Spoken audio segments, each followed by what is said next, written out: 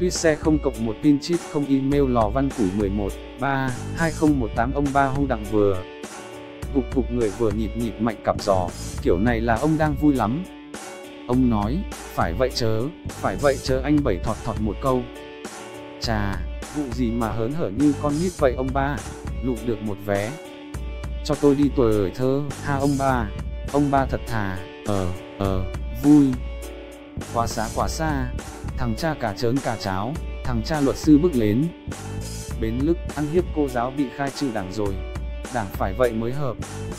Lòng dân, đảng như vậy anh năm ba gác chặn ngang, như vậy mới là thiên tài, mới là giai cấp lãnh đạo đi từ thắng lợi này tới thắng lợi. Khác chứ gì ông ba ha, anh bảy tiếp luôn, mới đưa đất nước đến. Chỗ tanh bành, dân chúng ngục lặn trong đống hỗn mang toàn rác rến. Bây giờ, coi bộ còn thua Lào, Campuchia ông ba ha, ông ba bị cắt, hứng chí anh. Hùng trai tơ, tiêu nhỉu, ngồi im du bà dù, ông hai xích lô huyệt tuẹt.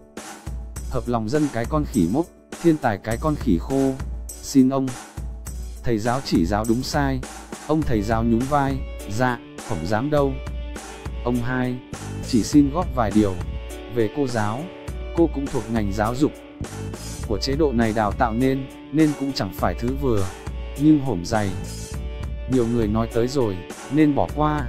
Về lòng dân, vụ tàu sân bay của Mỹ ghé qua cảng Đà Nẵng, dân chúng nô nước như thế nào ai ai cũng đã tỏ. Một lần nữa minh chứng lòng dân muốn chơi với ai, muốn là đồng. Minh của ai cũng khỏi cần phải nói. Bao nhiêu lần dân chúng hụt hẫng, như nô nước chào đón ông Tổng thống Bill Clinton, ông Tổng thống Bush Con, đặc biệt là với ông Tổng thống thân thiện Obama, nhưng dân chúng bây giờ vẫn không từ bỏ bày tỏ lòng của mình. Nó càng làm nổi bật sự cô đơn, cô đơn. Đến nỗi bị gọi là nỗi cô đơn thần thánh của ông Chủ tịch Tập Cận Bình, trong khi ông ta được long trọng tiếp đón với bao nhiêu là tiếng đại. Bác, lòng dân thì mặc lòng dân, lòng đảng quyết như vậy, nhiều người gọi là nòng đảng, đảng đã cho dân, sáng mắt sáng nòng. Lòng dân đối chọi một trời, một vực với nòng đảng. Đảng lên nòng bắn lòng dân bằng những viên đại bác.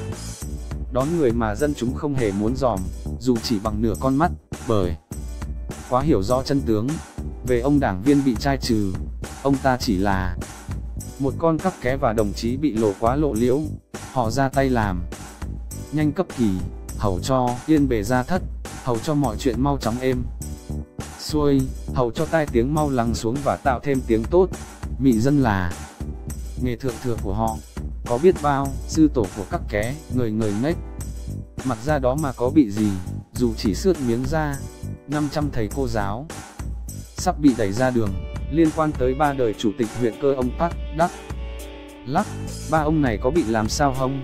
Nên nhớ, giáo viên ngày nay muốn được tuyển phải chạy chọn không biết bao nhiêu tiền của, chứ không phải dễ dàng.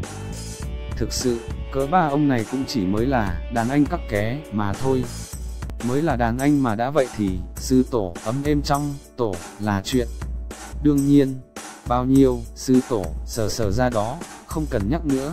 Một số sư tổ bị lên mâm vì coi thường tổ muốn làm đầu lĩnh và ta cũng thường nghe nhiều chuyện bất ngờ như một kẻ gây tội ác nhưng bà con hàng xóm kẻ ác này rất bất ngờ thời niên thiếu của kẻ này được nhận định là một đứa ngoan hiền lễ phép đồ rằng tương tự như vậy nhưng thiếu niên một thủa rất ngoan hiền hồn nhiên nhưng một khi đã bước vào tổ chức đảng thì hầu hết dần dần mất tính người ông thầy giáo thở dài bà con cô. Bác cũng thở dài, và không ai phản đối được, kể cả ông Ba Hu, anh. Năm nói, vậy theo ông thầy là nên khai trừ hết ha, khai trừ hết. Thì lấy gì còn đảng? Anh Bảy cười hừ, một tổ chức khai dình thì nên khai tử, chứ để làm gì nữa, trừ với cộng làm gì nữa. Vụ này, coi bộ càng hợp lòng dân. Tuyết xe không cộng một pin chít không in